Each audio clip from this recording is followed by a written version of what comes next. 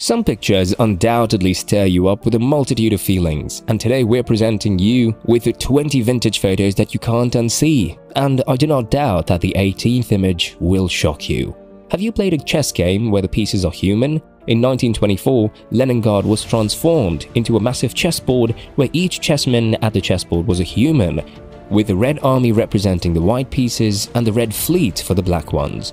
This is the armor of King James II. After the Monmouth Revolt in 1686, James received this arquebusier armor from London armourer Richard Holden. It consists of a backplate and helmet that is pistol-proof, a carbine-proof breastplate, and a bridle gauntlet. This picture, taken in 1963, represents life before GPS navigation, a directions call center where operators provide directions to customers seeking driving instructions before heading on a vacation.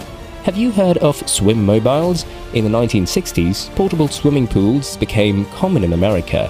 It had a length of 30 feet and a rail car with the top removed. In this picture, we can see the mechanism of human facial expression, a scientific and artistic work on how the muscles of the face form distinct expressions was published in 1862 by French neurologist Guillaume Benjamin Amand Duchenne de Boulogne. The Canadian snowstorm mask was a plastic cone made to protect the face from snowfall. Although the hound skull-like design is odd and striking, it was helpful for shot journeys in preparing for nature's violent surge.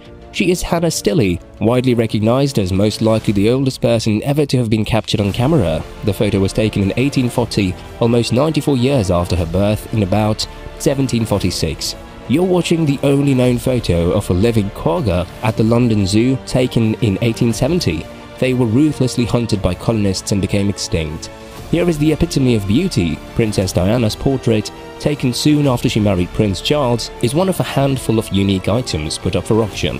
Till now you've only seen the ones that are close to the special. Now it's time for the ones that are beyond your imagination. This will amaze one's mind as seeing the star doing the dishes. It consists of Michael Jackson and Paul McCartney washing the dishes.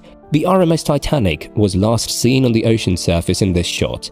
It was photographed at Crosshaven, Ireland during the maiden voyage shortly after the ship left Queenstown where it had halted before sailing westwards for New York.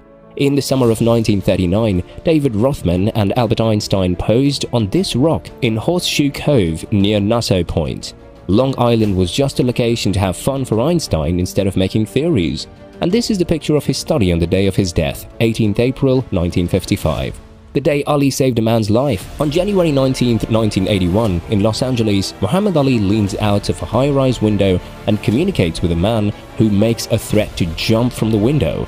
The two technology leaders are in a single frame. Steve Jobs and Bill Gates discuss the future of the PC in their first collaborative interview with Fortune magazine.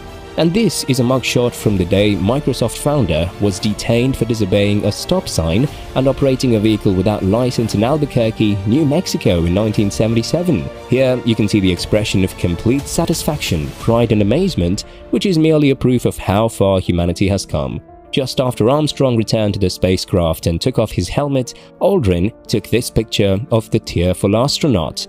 This one is sad as well as an evolutionary picture. The Soviet Union launched Sputnik 2 on November 3, 1957 and made history by sending a dog named Laika as the first living thing to circle the Earth. Laika's flights, which aimed to test the security of human space travel, turned out to be a one-way trip. It depicts the renowned author Mark Twain working with Nikola Tesla's lab, another notable writer of the 19th century.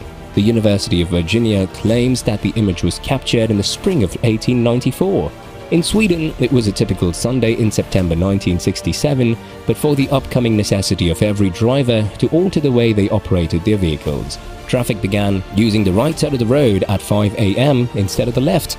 And that's for today. Thank you, subscribe to the channel for more, and we'll see you at the next one.